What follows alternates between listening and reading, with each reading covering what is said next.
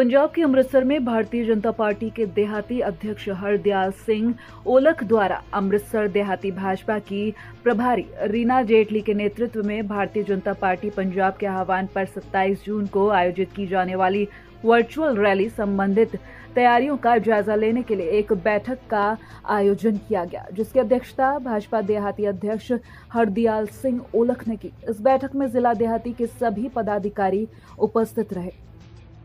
ਅੱਜ ਦੀ ਸਾਡੀ ਇਹ ਪ੍ਰੈਸ ਮੀਟਿੰਗ ਜਿਹੜੀ ਆ, ਉਹ ਪਾਰਟੀ ਹਾਈ ਕਮਾਂਡ ਦੇ ਦਿਸ਼ਾ ਨਿਰਦੇਸ਼ਾਂ ਤੇ ਸ਼੍ਰੀ ਅਸ਼ਵਨੀ ਕੁਮਾਰ ਜੀ ਔਰ ਸਾਡੇ ਤਿੰਨੇ ਜਨਰਲ ਸਕੱਤਰ ਔਰ ਜ਼ਿਲ੍ਹੇ ਦੀ ਦਿਹਾਤੀ ਦੀ ਪ੍ਰਭਾਰੀ ਭੈਣ ਰੀਨਾ ਜੇਤਲੀ ਜੀ ਦੇ ਦਿਸ਼ਾ ਨਿਰਦੇਸ਼ਾਂ ਤੇ ਪ੍ਰਧਾਨ ਮੰਤਰੀ ਜੀ ਦਾ ਜਿਹੜਾ ਜਨਤਾ ਦੇ ਨਾਂ ਤੇ ਸੰਦੇਸ਼ ਪੱਤਰ ਆ, ਇਹ ਜਾਰੀ ਕਰਨ ਵਾਸਤੇ ਅਸੀਂ ਇੱਥੇ ਇਕੱਤਰ ਹੋਏ ਹਾਂ ਪ੍ਰਧਾਨ ਮੰਤਰੀ ਜੀ ਦਾ 1 ਸਾਲ ਪੂਰਾ ਹੋਣ ਤੇ ਜਿਹੜੀਆਂ ਉਪਲਬਧੀਆਂ ਨੇ, ਉਹਨਾਂ ਵਾਸਤੇ ਅਸੀਂ ਇੱਥੇ ਇਕੱਤਰ ਹੋਏ ਆ 1 ਸਾਲ ਦੇ ਵਿੱਚ ਮਾਨਯੋਗ ਪ੍ਰਧਾਨ ਮੰਤਰੀ ਜੀ ਨੇ ਉਹ ਕੰਮ ਕੀਤੇ ਆ, ਜਿਹੜੇ ਕਾਂਗਰਸ ਸਰਕਾਰ ਨੇ ਪਿਛਲੇ ਬੜੇ ਦਹਾਕਿਆਂ ਤੋਂ ਜਾਂ ਤਾਂ ਜਾਣਬੁੱਝ ਕੇ ਲਮਕਾਏ ਸੀ, ਜਾਂ ਫਿਰ ਉਹਨਾਂ ਦੀ ਨੀਅਤਨ ਜਿਹੜੀ ਸੀ ਉਹ ਬਦਨੀਤੀ ਸੀ।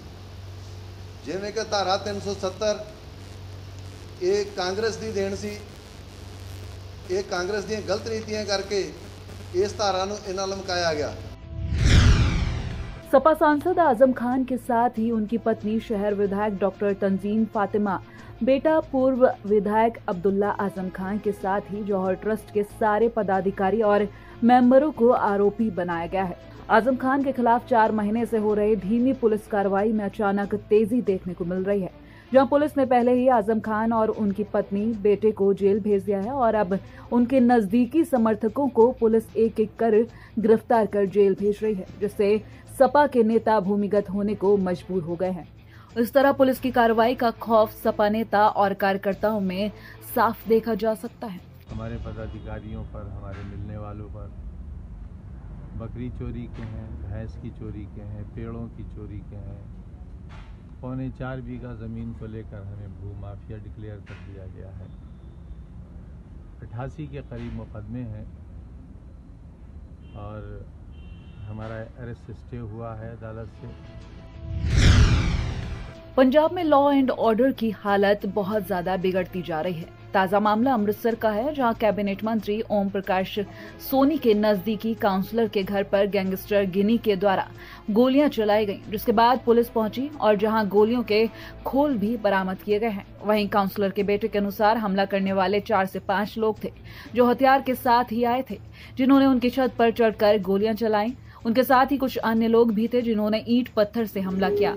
हालाँकि उनके घर में किसी भी सदस्य को गोली नहीं लगी, लेकिन गोलियाँ इस हिसाब से चलाई गई थी कि किसी की जान ले ली जाए। अब पीड़ित ने न्याय की गुहार लगाई है साथ ही पुलिस ने भी आगे की कार्रवाई शुरू कर दी है ਸਰ ਗੱਲ ਹੋਈ ਆ ਸਵੇਰ ਹੀ ਜਾ ਰਹੇ ਸੀ ਮੰਤਰੀ ਸਾਹਿਬ ਦੀ ਕੋਠੀ ਇੱਕ ਲੜਕਾ ਸੀ ਜੋਦਾ ਪਹਿਲਾਂ ਵੀ ਉਹਨੇ ਫੋਨ ਤੇ ਮੇਰੇ ਪਾਪਾ ਨੂੰ ਗਾਲੀ ਗਲੋਚ ਕੀਤਾ ਵਾ ਤੇ ਅੱਜ ਹੀ ਸਵੇਰ ਜਦੋਂ ਕੋਠੀ ਜਾ ਰਹੇ ਸੀ ਨਾ ਫੇਰ ਰਸਤੇ 'ਚ ਜਾਂਦੇ ਪਏ ਉਹਨੇ ਸਾਨੂੰ ਗਾਲਾਂ ਕੱਢੀਆਂ ਤੇ ਇਸੇ ਗੱਲ ਤੋਂ ਪਹਿਲਾਂ ਸਵੇਰੇ ਹੱਥਾ ਪਾਈ ਹੋਈ ਆ ਤੇ ਬਾਅਦ ਵਿੱਚ ਉਹਨਾਂ ਨੇ ਅਸੀਂ ਘਰੇ ਆ ਗਏ ਬਾਅਦ ਚੋਂ ਅਸੀਂ ਗਏ ਨਹੀਂ ਵਾਪਸ ਆ ਗਏ ਫਿਰ ਉਹਨਾਂ ਨੇ ਘਰ ਆਣ ਕੇ ਸਲਾਹ ਕਰਕੇ ਕਮ ਸੇ ਕਮ 50 60 ਮੁੰਡੇ ਇਕੱਠੇ ਕਰਕੇ ਸਾਰੇ ਤੇ ਸਾਡੇ ਘਰ ਆ ਕੇ ਪੈ ਗਏ ਜਿਆਦੇ ਕਿਹੜੇ ਕਿਹੜੇ ਬੰਦੇ ਕਿਹੜੇ ਗਏ? ਕੌਣ ਜਿਹੜਾ ਇਹਨਾਂ ਦਾ ਮੇਨ ਬੰਦਾ ਨਾ ਗਿੰਨੀ ਆ ਉਹ ਗੈਂਗਸਟਰ ਹੈ ਚੰਡੀਗੜ੍ਹ ਦਾ। ਮਿਸਜ ਕਾਉਂਸਲਰ ਆ। ਕਾਉਂਸਲਰ ਹੋਣ ਦੇ ਨਾਤੇ ਮੌਜੂਦਾ ਕਾਉਂਸਲਰ ਅਸੀਂ ਸੈਂਟਰ ਹਲਕੇ ਤੋਂ ਸੋਨੀ ਸਾਹਿਬ ਦੇ ਹਲਕੇ ਦੇ ਕਾਉਂਸਲਰ ਆ। ਇਹਨਾਂ ਨੇ ਜਿਹੜਾ ਵਾ ਸਾਡੇ ਤੇ ਅੱਜ 50 ਤੋਂ 60 ਦੇ ਦਰਮਿਆਨ ਬੰਦੇ ਲੈ ਕੇ ਸਾਡੇ ਤੇ ਹਮਲਾ ਕੀਤਾ। ਚਾਰ ਬੰਦੇ ਆ ਜਿਹੜੇ ਗੋਲੀਆਂ ਚਲਾਉਣ ਵਾਲੇ ਬਾਕੀਆਂ ਨੇ ਟਰੋੜਾ ਕੀਤਾ ਮੇਰੇ ਘਰ ਦੇ ਵਿੱਚ ਦਾਖਲ ਹੋ ਕੇ ਲਾਗੇ। ਇਹਨਾਂ ਨੇ ਗੋਲੀਆਂ ਵੀ ਚਲਾਈਆਂ ਤੇ ਜਿਹੜਾ ਵਾ ਇਹ ਟਰੋੜਾ ਵੀ ਬਹੁਤ ਚਲਾਇਆ ਵਾ ਤੇ ਸਾਨੂੰ ਇਹਨਾਂ ਤੋਂ ਜਿਹੜਾ ਜਾਨ ਮਾਲ ਦਾ ਖਤਰਾ ਵਾ ਮੈਨੂੰ ਆਪਣੇ ਬੱਚਿਆਂ ਦੇ ਜਾਨ ਦਾ ਖਤਰਾ ਵਾ ਤੇ ਆਪਣੇ ਪਰਿਵਾਰ ਦਾ ਜਿਹੜਾ ਵਾ ਇਹਨਾਂ ਤੋਂ ਖਤਰਾ ਵਾ ਜੀ। ਗਏ ਹਾਂ ਉੱਥੇ ਅਸੀਂ ਇਸ ਗੱਲ ਦੀ ਜਿਹੜੀ ਹੈ ਤਸਦੀਕ ਕਰ ਰਹੇ ਹਾਂ। ਪਤਾ ਤੇ ਤਸਦੀਕ ਤੋਂ ਬਾਅਦ ਜਿਹੜੀ ਕੋਈ ਗੱਲ ਸਾਹਮਣੇ ਆਉਂਦੀ ਹੈ ਤੇ ਅਸੀਂ ਉਹਦੇ ਮੁਤਾਬਕ ਜਿਹੜੀ ਉਹ ਕਾਰਵਾਈ ਕਰਾਂਗੇ। लद्दाख चीन बॉर्डर पर हुई झड़प के दौरान शहीद हुए 20 भारतीय सैनिकों की शहादत से आहत जमियत उलेमा हिंद ने चीन के सामान का पूर्ण रूप से बहिष्कार करते हुए मुस्लिम युवाओं को देश की सेवा करने का अवसर देने के लिए भारतीय सेना में भर्ती करने की भारत सरकार से मांग की है। बता दें कि संभल के सराय तरीन के पीला खदाना में जमियत उलेमाए हिंद के जिलाध्यक्ष मौलाना मेहर इलाही के आवास पर एक बैठक हुई। पड़ोसी देश नेपाल द्वारा सीमाओं के आकलन के मुद्दे पर भी मौलानाओं ने अपने विचार रखते हुए कहा कि भारत सरकार को नेपाल से हर तरह का रिश्ता खत्म करते हुए उसे दी जा रही सभी सुविधाएँ वापस ले लेनी चाहिए। साथ ही वीर शहीद अब्दुल हमीद के नाम पर एक मुस्लिम रेजिमेंट बनाने पर भी ज़ोर दिया गया। आज मीटिंग की गई है कि चाइना ने जो बदतमीज़ी की है, हमारे सैनियों पर गोली चलाई है, इस सिलसिले में की गई है कि इनको मुंहतोड़ हुकूमत जवाब दे और हम सब जमीयत उलमा ज़िला संभल की जानब से इसका बाईकाट करते हैं कि इसके सामानों का बाईकाट किया जाए ताकि इसको ठेस लगे और आइंदा ऐसी हरकत हिंदुस्तान के साथ ये ना करें। क्योंकि ये हिंदुस्तान मुसलमानों के खून से इसकी ज़मीन जो है रंगी हुई है। पूरी ज़िंदगी मुसलमानों ने कुर्बानियाँ दी हैं और इस हिंदुस्तान को परवान चढ़ाया है। आज भी अगर कोई नापाक हरकत करता है तो हम कभी बर्दाश्त नहीं करेंगे। इसीलिए हमने ये मीटिंग बुलाई है। मुल्क हिंदुस्तान के अंदर चाइना की तरफ़ से दरअंदाजी की जा रही है और चाइना की तरफ़ से हमारे हिंदुस्तान के सैनियों को जुल्म का निशाना बनाया जा रहा है और चाइना की तमाम फ़ौजें हमारे हिंदुस्तान की सरहदों में दाखिल हो रही हैं।